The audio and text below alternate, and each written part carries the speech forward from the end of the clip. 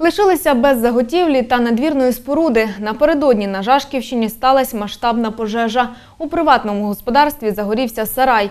Щоб подолати вогонь, тамтешнім надзвичайникам знадобилося майже 4 години. За цей час полум'я охопило надвірну споруду та повністю спопилило її дах. Також іскри потрапили і всередину будівлі. Як наслідок, згоріли 7,5 тонн сіна та соломи, що заготовили господарі дворища. За інформацією ДСНС, вогонь спалахнув через коротке замикання електропроводки.